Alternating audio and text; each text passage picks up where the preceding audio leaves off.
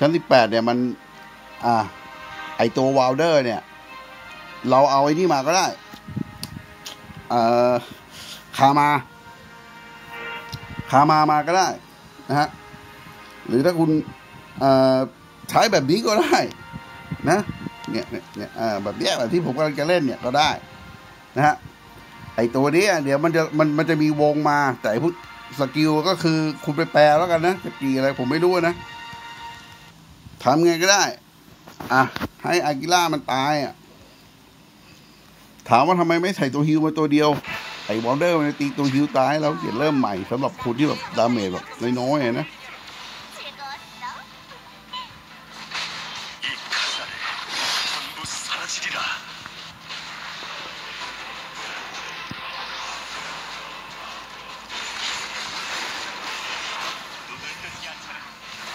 เราดึงออกมา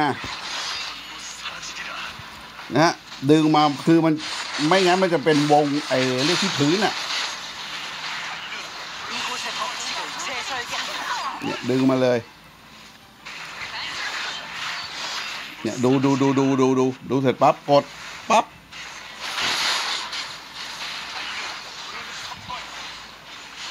จบ แต่ถ้าเราใส่ตัวฮิวไปตัวเดียวมันก็ผ่าน แต่ว่า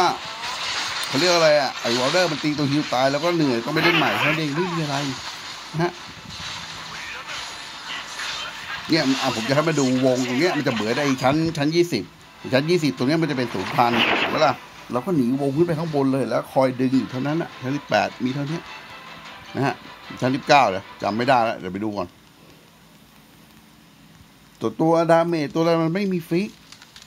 นะฮะ ผมเลยบอกว่าเขาวงกตยี่สิบชั้นเนี่ยแทบไม่มี fix เลย ถ้าผมจำไม่ผิดอะไอ้ครั้งแรกมันเป็นการรวมไง คือมันเอาไอ้ไอ้นี่มารวมโอ้โหงานงอกอะไรอย่างนี้ มันเอาไอ้เรียกอะไรนะไอ้เขาวงกตสิบห้าชั้นมารวม เออซึ่งครั้งแรกจริงๆของมันน่ะน่าจะเป็นบททดสอบเอเวจีไอ้ที่ชั้นสิบเก้าเราใช้สปร์หรือสกอตทำให้อ่อ ศูนพันคารินกับคายศูนพันน่าคือครั้งแรกของเขาวงกฏนะฮะแล้วต่อมาจะไม่ผิดได้เป็นกองทหารที่น่ามันมันอยู่ที่ดาเมจอย่างเดียวเขาก็ไม่มีอะไรเลย ไม่มีฟิกไม่มีอะไรไอดีกากากอย่างผมเนี่ยอะฟุกฟุกฟุกผ่านชั้นยี่สิบทุกรอบอะชั้นสิบเก้าผมบอกให้ก็ได้คุณจะใส่ฮีโร่เลย คุณไม่ต้องไปอ่านอะไรมากมาย เคลมิดอะเคลมิดคือตัวไอ้นี่เคลมิดเขาจะมี skill ตอนที่เขาออกมาเลยเนี่ย ลบล้างไอ้พวกไตเปียวพวกเตโอพวกอะไรพวกเนี้ย คือคุณมีเคลมิดยังไงคุณก็ผ่านชั้นเก้าเท่านั้น แต่ถ้าไม่มีเคลมิดคุณก็มีพวกเอ่อดังไปโทรไปเลยพวกเชียวไปหรอกโป้งป้างโป้งป้างไปเลยนะเนี่ยอะเห็นป่ะผมเล่นเนี่ย มันไม่มีอะไรไง ไอชั้นยี่สิบนะ ของรอบนี้นะเขาเรียกอะไรโชคชะตา อันนี้เขาเรียกเขากดโชคชะตา หรือเปล่า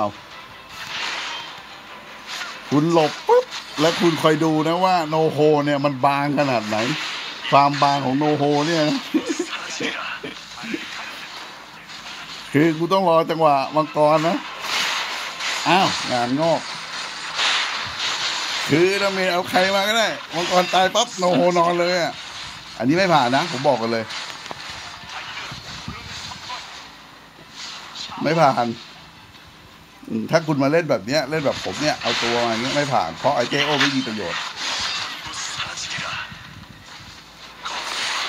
เนี่ยพวกเตโอพวกไม่มีประโยชน์อะเดี๋ยวผมทำให้ดูความบางของของของโลโฮเนี่ยแบบถือว่า กระดาษ A4 เป็นรองอะนะคือพอมังกรมันตายปั๊บโลโหทิ้งตัว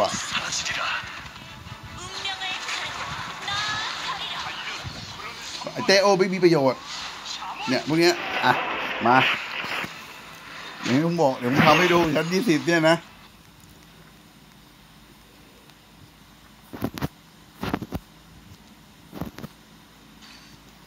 อ่าใช้แผนอ่าเรียกอะไรนะ ธิสองก็ได้ ใช้แผนอะไรก็ได้นะ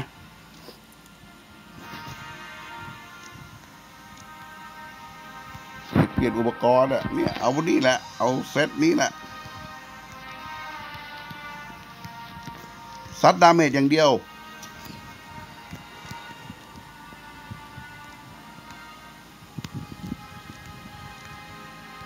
อยากใส่ใครใส่ได้เลยนะ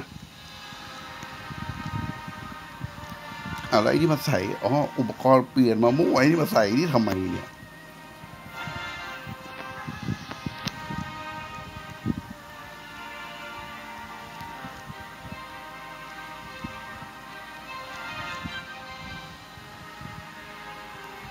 ไอ้นี่อยากลองไอ้ตัวนี้ดิอะ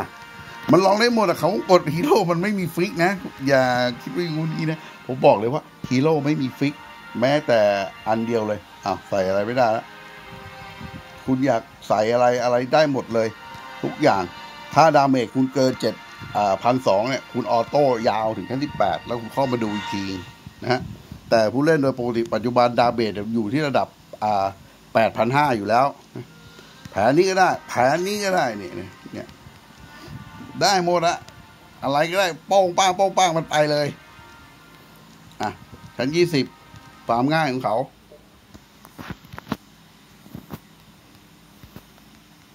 ไอตัวนี้ก็เปิดไม่ค่อยได้ไอ้นี่กับเขานะการ์ด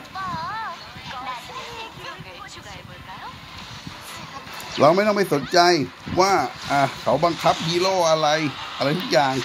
เราสนใจว่ามังกรเนี่ยเดี๋ยวพอมันพ่นปั๊บเนี่ยเรากดอ่า skill ของสัตว์เลี้ยงถูกปะ skill ของสัตว์เลี้ยงเนี่ยเพื่อให้มันอ่าเรียกอะไรมีอมตะอ่าแล้วพอมังกรตายปั๊บเนี่ยกดตีโนโฮโนโฮนอน ตัวแรกเนี่ยคุณจะเป็นใครก็ได้ เป็นไอเพตันเป็นใครก็ได้ นอนไปแล้วโนโฮเนี่ยผมบอกแล้วว่าบางไหมล่ะนางไม่ต้องไปปรับอะไรมากมาตรงนี้เนี่ย ยืนตีอย่างเงี้ยกดสัตว์เลี้ยงทีเดียว นางนอนแล้ว งานแค่ยี่สิบรอบนี้อะ เนี่ย ผมเล่นของผม ชั้นเอ่อสิบสิบเก้าคิดว่าคุณต้านไม่ไหว คุณก็ไปซื้อบัฟป้องกันบัฟอะไรด้วยนะ ตัวผมเองเนี่ยผมซื้อแค่บัฟโจมตีนะเนี่ยชั้นสิบเก้าน่าจะยากสุดแล้ว ส่วนไอ้ตัวนี้มันไม่มีอะไรยากถูกไหมอ่าแต่อย่างที่ผมบอกอะทิปมันก็คือคุณต้องมีตัวชั้นสิบเก้าคุณต้องมีไอ้ตัวที่ชื่อเคลวิทนะ ส่วนวงกดไอ้ชั้น ที่มียี่สิบชั้น คุณไม่ต้องมาดูเลย พวกดีบงดีบัฟไม่มีประโยชน์มันไม่เหมือนสิบห้าชั้นฮีโร่มันไม่มีฟิกนะ ผมเลยลืมให้ดูเลยเมื่อกี้นี้แล้วอย่าไปกดไอ้นี่พลาดนะ ไอ้เขาเรียกว่าอะไรนะ ไอ้เนี่ย มันมีแปดร้อยวาง ผมโดนไปแล้ว ผมเลยมาเตือนคนอื่น เนี่ย ไอ้แปดร้อยเนี่ย มันซื้อได้กี่รอบก็ไม่รู้เนี่ย กี่รอบของเขาก็ไม่รู้ หินผมก็ยังเหลืออยู่เลยผมยังงงอ้าวลูบี้หายอย่าไปไอ้นี่มันแหมตั้งมา มันทำแบบว่าให้เหมือนโกบอสอะเขาเรียกอะไรสูบทุกที่อะทุกกรณีอะอุ้ยแต่เยอะเหมือนกันนะใช้หมุนเนี่ยหลายรอบนะพอจะเจอนะไอ้ตัวเนี้ยฮีโร่แดงบวกนะครับไม่ใช่เทพเจ้าจะไปหมุนทำไมถูกปะล่ะเออ ไอ้ตัวนี้เนี่ยระวังนะ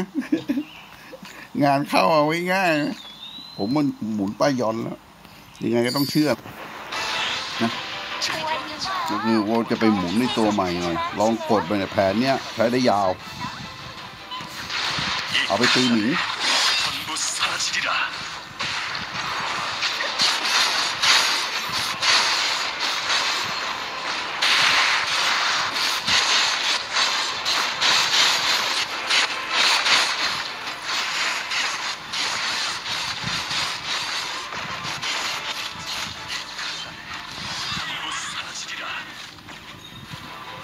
แผนนี้มันใช้ยาวอยู่แล้ว แต่คุณใช้เอสเทปก็ได้นะ อันนี้ผมผมไม่รู้นะเรื่องอ่าเขาวงกตอ่ายี่สิบชั้นอะไร global นะ แต่สำหรับผมนะ ผมบอกให้เลยยี่สิบชั้นที่ผมเล่นมาเนี่ย ไม่มีรอบไหนเลยที่ฮีโร่ fix นะฮะคุณใช้รอบอื่นใช้อะไรแทนได้หมดนะครับ ผมผมสำหรับตัวผมเองนะ ผมไม่ค้านผมไม่แย้งใคร แต่ไงเดี๋ยวที่เพื่อนผมถามมาเดี๋ยวผมทำ playlist ไว้ให้เลย ครั้งแรกผมจำไม่ผิดนะคือ ครั้งแรกมันเป็นการรวมกันเอาของเก่ามารวมมานะแล้วเขาก็เลยไอ้นี่ไงเขาก็เลยอะเปลี่ยนนะ ก็คือแบบว่าอ่าเป็นแบบยี่ชั้นแรกๆเลย น่าจะเป็นเออเอาเวจีอ่าครั้งที่สองก็น่าจะเป็นไอกองทหารที่หน้านะเขาวงกตนะอ่าแล้วถามว่า damage เนี่ยมันอยู่ที่ damage ของกดนะฮะ ไม่มีฮีโร่ตัวไหน fix damage ตอนที่มันมาตอนแรก damage ผมอยู่ที่อะหกเจ็ดหกเจ็ดเนี่ยผมบอกเลยว่า ผ่านยากเลยอะชั้นยี่สิบอะแต่ผมผ่านชั้นยี่สิบทุกครั้งนะ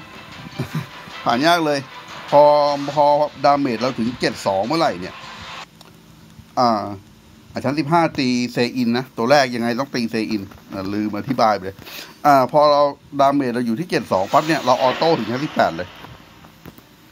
นะฮะ อ่า พอ damage คุณเลยเจ็ดสองไปเท่าไหร่ ประมาณเจ็ดสี่เจ็ดห้าคุณ auto ได้อยู่ถึงชั้นยี่สิบเลย ไม่มีอะไรเลย